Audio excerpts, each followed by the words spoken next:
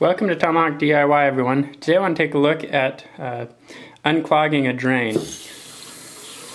So if you have a bathroom sink drain that uh, the water is backing up, it can be a pretty easy thing to fix.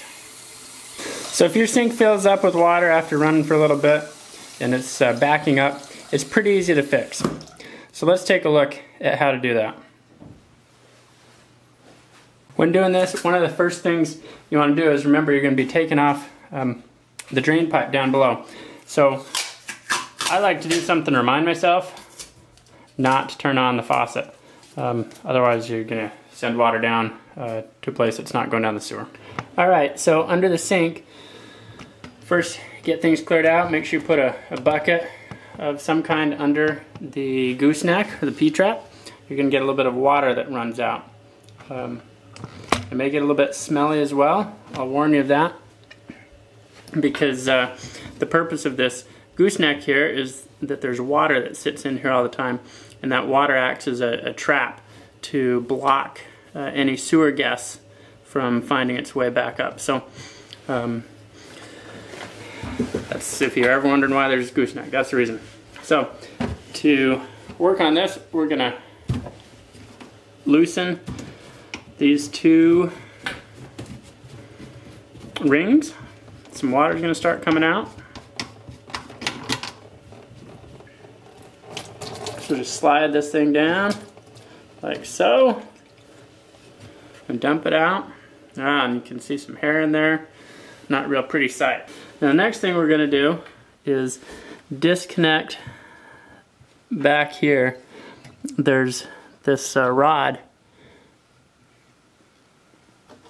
that actually goes back to the, the uh, drain plug up above. So to undo that, we've got to unscrew this.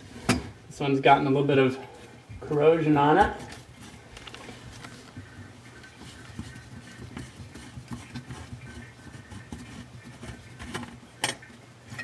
And we're going to pull out,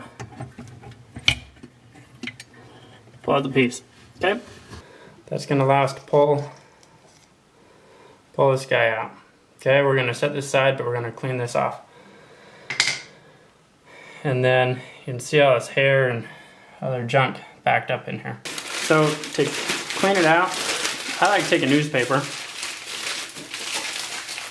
and work it down. It's gonna kind of chase everything down into the bucket below.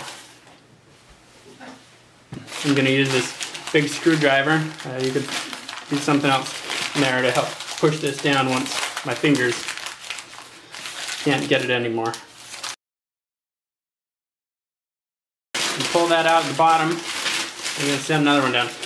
Now obviously make sure you've taken the P-trap off down below before you start sending the newspaper down. Otherwise uh, it's not going to work so well. You don't want to try and send this down to the sewer. You could use paper towels or some other soft flexible paper to do this. So let's see what happened down below. Alright, so now we've chased all this junk out. Now we're ready to work on putting the sink back together.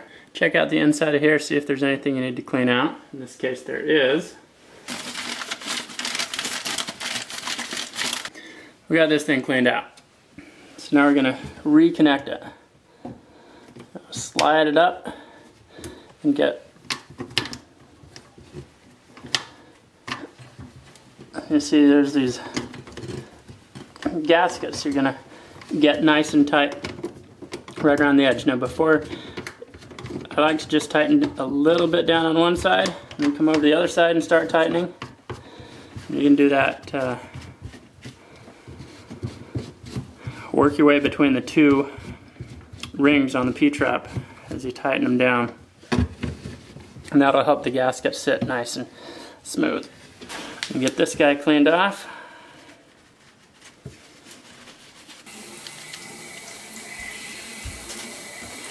Hopefully you don't have any drips. If you do, tighten things down a little bit more. Um, if for some reason you need to replace some parts, I'll include a link down to Amazon where you can get some new P-traps and gaskets and things. Um, I like to make sure I've wiped all the water off and then keep an eye on this over the next couple days. Maybe leave a bucket down below, um, a dry bucket to check on, be sure there's no water leaking. So there we have it.